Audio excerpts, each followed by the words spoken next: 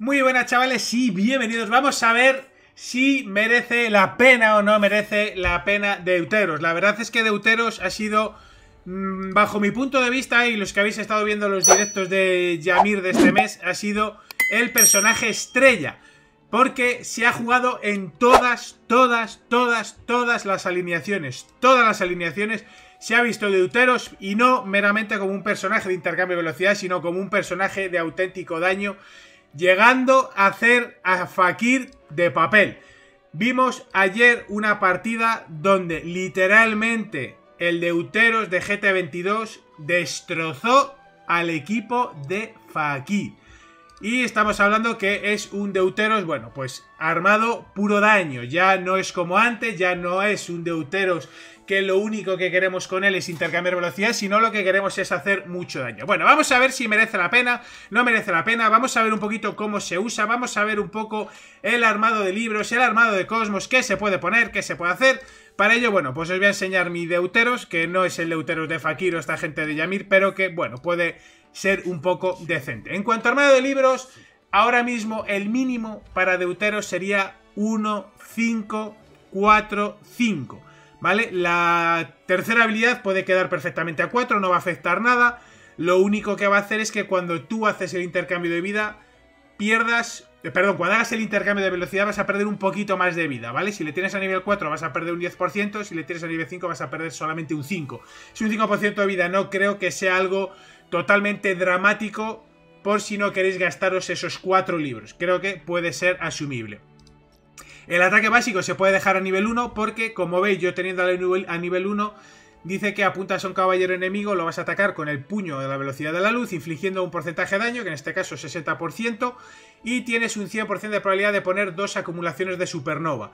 Las dos acumulaciones de supernova con el básico lo vas a poner teniéndola a nivel 1 o teniéndolo a nivel 5. Por lo tanto, chavales, para la gente de andar por casa no hace falta que subamos el básico más allá de uno. No lo veo necesario. ¿Vale? Entonces ya vemos que eh, la mecánica de Deuteros es básicamente acumular supernovas para que él lance el ataque explosión galáctica. ¿Vale? Cada cuatro supernovas que acumula Deuteros va a lanzar una explosión galáctica. ¿Ok? Eh, entonces, ¿de qué manera va a ganar acumulaciones? Acumulaciones va a ganar cuando nosotros se las ponemos al enemigo, el enemigo se mueve y se las transfiere a deuteros. ¿Vale? Entonces va a poner marcas de supernova con el ataque básico, va a poner dos al objetivo. Con la segunda habilidad va a poner una a cada uno de ellos. La segunda habilidad es una habilidad importante porque es la que va a, va a determinar el daño que hace Deuteros en el terreno de juego. Esta tiene que ir a nivel 5 sí o sí. ¿Vale? Sería esto y cuando se transforma en erupción de lava, que eso quiere decir que se transforma en erupción de lava cuando Deuteros ha conseguido acumular 10 marcas, ¿vale? Entonces hace supernova y hace un daño brutísimo. La tercera habilidad es la del intercambio de velocidad y la cuarta habilidad es la que va a definir un poco ¿Cómo de rápido va a ganar Deuteros las supernovas? Aquí dice que a nivel 5 esta habilidad también la tenéis que llevar a nivel 5, ¿vale? No creo que haya mucho mm, que hablar. A nivel 5, sí o sí. Dice que al inicio de batalla va a infligir una acumulación de supernova a todos los enemigos. Y el propio Deuteros va a ganar una al finalizar su turno de acción. Y por cada enemigo que muere también vamos a ganar dos puntos de supernova. ¿Vale? Ya vemos que pone él una supernova cuando empieza la ronda. Luego, con el básico podemos poner dos al objetivo principal, por ejemplo, a una unidad que se mueve dos veces, o podemos lanzar la de 3 de energía y ponemos dos a cada uno. Por lo tanto, si después de que se haya movido todo el equipo rival, que son 6 personajes multiplicado por dos supernovas cada uno, son total 12. Habría lanzado 3 explosiones al finalizar la primera ronda. Vamos a seguir porque la habilidad pasiva tiene mucho de interesante. Dice que cuando una unidad afectada por supernova actúa, obtiene un punto de ellos, por eso va ganando acumulaciones, ¿vale? Y aparte de eso, el ataque de Deuteros va a ganar, va a aumentar de manera permanente un 5% y su robo de vida también va a aumentar 1% sin límite de acumulaciones. O sea que si él gana 10 puntos de supernova, va a aumentar su ataque un 50%. O sea, fijaros los números que se acaban siendo muy locos, ¿eh? Mientras tanto, por cada cuatro supernovas que recoja, va a lanzar la explosión galáctica, la, perdón, la segunda habilidad sin coste. ¿Ok? Y según la cantidad de puntos de supernova recogidos va a obtener las siguientes habilidades. Cuando ha, cuando ha obtenido Deuteros 5 puntos recupera salud. Cuando ha obtenido 10 puntos va a cambiarse la explosión galáctica por erupción de lava. ¿Vale? Por lo cual ya os digo yo que con nada que se muevan tres enemigos que tienen dos marcas cada uno, ya ha ganado Deuteros siete marcas, ya ha lanzado la explosión prácticamente dos veces. A nada que se muevan Cuatro enemigos, fíjate lo que te digo, casi un poquito más de la mitad del equipo rival. Deutero ya habrá lanzado, lanzado, tres explosiones. O sea, es una locura, aumentándose el daño, aumentándose el... Bueno, una auténtica pasada. Mínimo 1, 5, 4, 5. Y lo podéis dejar ahí, ¿vale? Si le queréis dejar 1, 5, 5, 5, perfecto, pero no le subáis más. En cuanto a armado de libros, creo que merece la pena Deutero sea una unidad súper rápida. ¿Vale? En cuanto a cosmos eh, rojos, yo pondría opción número uno. Bueno, opción número uno, espíritu de funación. Opción número dos, Tebas. Opción número tres, canto de cagón. ¿Vale? Ahí lo tenéis. Funación, Tebas, canto de cagón. En los cosmos amarillos, algo que dé velocidad a lo bestia.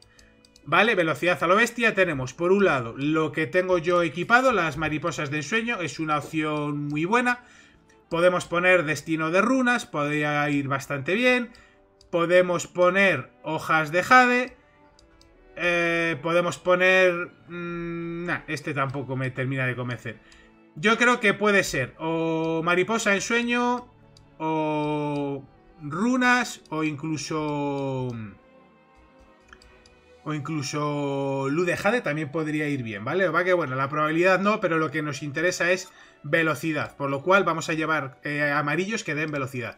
En cuanto a los cosmos azules, no lo llevéis con inframundo, porque eso los puede valer a la gente de Yamir. Para nosotros que somos de andar por casa, no nos va a valer. Opción número uno, pues quizás Corona Dorada creo que sea la mejor opción, porque da 26 puntos de velocidad. La otra opción también bastante interesante sería eh, la de Sangu, pero mm, como la probabilidad no nos va a importar, quizás el Cosmo Daño puede venir bien, pero no, yo creo que quizás en los Cosmos Azules lo que mejor le va a ir va a ser este, porque va a ganar mucha velocidad, va a ganar mucha perforación, así que Corona Dorada creo que es la mejor de las opciones. Otra opción, pues oye, si quieres el Sangu te puede valer, Em, podría valernos también... Eh, tiene que, tiene que ser ese. Yo creo que ese es el, mejor. Colibrí puede ser rotación, lunas nuevas si le tenéis con mucho, mucho daño cósmico puede valer pero creo que la mejor es esta. En cuanto a cosmos legendarios, pues también hay varias opciones. Yo le he puesto Elfo de Sangre porque tengo un doble velocidad con Elfo de Sangre. Elfo de Sangre le va a venir bien porque vamos a romperle muchas veces la defensa al rival, va a moverse muchas veces de Uteros, vamos a romper la defensa, vamos a hacer mucho daño, pero también le podemos aportar o le podemos poner un cosmo que nos dé velocidad como atributo principal por lo que pues quizás eh, llama eterna pueda ser también una opción quizás... Eh, Iris no me termina de convencer. Quizás de acelerador también puede ser una opción, o si quiere reducir un poquito de daño, quizás mandala. Pero yo lo llevaría, pues quizás con Elfo de Sangre, creo que sea la mejor de las opciones si tenéis doble velocidad. Si no, pues podéis meter un decelerador, podéis meter un llama eterna, ¿vale? Ahí lo tenéis. Vamos a ver una partida de mm, arena para que veáis un poquitillo cómo funciona este señor, un poco para que podáis comprobar y veamos un poquito lo que son los números que hace, eh, por ejemplo, con mi cuenta, ¿vale? Pues ya vemos las cuentas, he visto todo el mundo Yamir y ahora al final del vídeo vamos a hacer una conclusión de si merece la pena o no merece la pena armar a Deuteros. Venga, vamos a ir con esta alineación, eh, vamos a ver cuánto daño va sufriendo esa Perséfone este rival, creo que es un rival que tiene una cuenta media. Pero bueno, vale, vamos a intercambiar velocidad, por ejemplo, con el Cid. Vemos que él hemos puesto una marca de supernova cada uno. Deuteros debería de haber ganado una marca al finalizar. Mira, supernova, aquí tenemos, ¿vale? Como se mueve dos veces, debería ganar dos marcas. Vamos a pegar ¿Vale? Hemos puesto dos marcas a cada uno y el propio Deuteros ya tiene dos marcas, ¿vale? Ahora vamos a esconderle, porque puede ser que incluso me le lleguen a matar. Vamos a hacer un básico ahí. Vamos a abrir campos con Atena. Vamos a poner ahí luz sagrada. Y quizás lo que voy a hacer va a ser poner ahí la manzana porque puede ser que me destroce. Vale, ahora se mueve.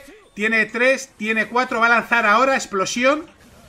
Fijaros el daño que va haciendo. Va a explotar Thanatos, a ver si no me le mata. A Deuteros, vale, no le mató. Se mueve Atena dos veces. Va a lanzar otra explosión ahora. Vale, vamos a darle doble turno a mi Cid. Y se va a mover a Frogot. Vale, vamos a ver si... A ver el daño que acaba haciendo Afrodita, a ver el daño que acaba haciendo Deuteros, el daño que acaba haciendo... Bueno, Eris no. Ya está, fijaros, explosión de lava, ¿eh? Una ha matado, otra, fijaros, fijaros, fijaros qué locurón, ¿eh? Fijaros qué locurón. Vamos a ver el daño final. ¿Quién se ha agenciado más daño? Si Afrodita, si Eris, Deuteros. Fijaros, ¿eh? Afrodita, 33% de daño. Eris, 12% de daño. Deuteros, 50% de daño. Fijaros la locura, la locura de Deuteros. O sea, es que yo la verdad es que me he quedado un poco... Oh my god, pero es una unidad muy, pero que muy interesante. Se me ocurre incluso que vais a hacer un combito, hay varios combos que se pueden hacer. Em, por ejemplo, llevar a Deuteros con Pandora. Una Pandora un poquito más de sustain, ¿vale? Entonces podemos llevar aquí Vamos a llevar a Pandorita. Mm, llevamos a Pandorita por aquí. Vamos a llevar a un Doko para eh, que me den los puntos de energía. Y por ejemplo podemos llevar aquí otra unidad de ataque como puede ser Thanatos. Entonces la mecánica sería fácil. Nosotros aceleramos conductores a Pandora, Pandora mete ñordo y ya simplemente es dejar que actúen. Incluso podemos quitar a una Afrodita por meter una Eris y ya acaba siendo un locurón. Ya metiendo en el ñordo y ya con los movimientos va ganando, va lanzando explosiones, pues al final acabas haciendo un daño brutísimo. Esto es una alineación bastante interesante. A modo de conclusión, ¿merece la pena armar a Deuteros? Diría que sí. Creo que es una unidad que os va a dar muchas alegrías. Habrá que ver el meta si lo permanbanea mucho que puede ser el caso que empiece a ser bastante permabaneado, no lo sabemos, pero a mí me parece que la unidad es bastante interesante.